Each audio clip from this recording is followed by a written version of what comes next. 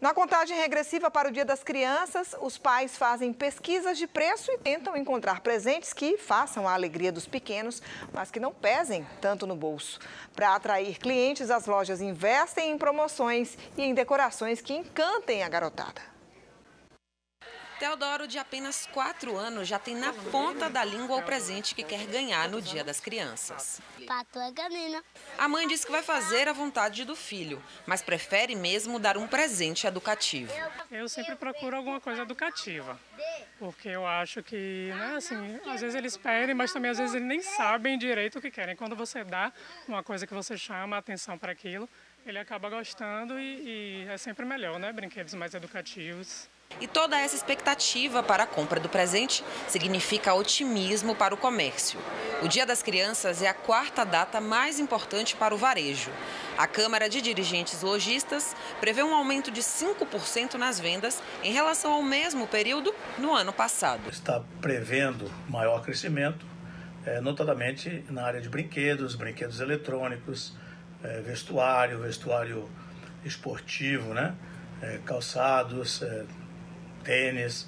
É isso que a meninada hoje está consumindo mais. E os lojistas estão investindo em promoções e na diversidade de presentes para garantir o aumento das vendas. Tem bonecas, é, Monster High, All Generation, pistas. É, tem um público também que gosta muito de heróis, né?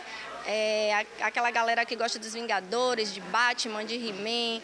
Tem também os, os, brinquedos educativos, né, que são quebra-cabeças, brinquedos de madeira voltados para, para as crianças autistas também. Brinquedos eletrônicos, roupas e calçados são os produtos mais procurados para o Dia das Crianças. A expectativa da Câmara de Dirigentes Logistas é que o consumidor gaste em média 170 reais. Mas no comércio de Salvador é possível encontrar opções bem mais em conta e que pesem menos no bolso bolso. Nessa loja de um shopping de Salvador, é possível encontrar boneca Barbie por R$ 39,99. Comprando duas, cada uma sai por R$ 31,99. Nessa ala tem produtos a partir de R$ 14,99. Esse ano, os netos de Dona Sandra jogaram para ela a responsabilidade de escolher o presente. Eles querem ser surpreendidos. Estou dando uma olhada aqui, mas eu estou super indecisa ainda. É muita coisa boa, né? Muito presente legal. Aí a gente fica indecisa. Os eletrônicos infantis também são muito procurados nesse período. Essa loja está com oferta. O jogo aquático custa R$ 29,90. Nessa outra loja, a cada R$ 79,00 em compras de brinquedos, a criança leva um brinde. E se pesquisar direitinho, é possível achar também presentes por menos de 20 reais. Porque não é também dar tudo, tá? Então a gente procura dar aquilo que ele está precisando, que ele gosta mais.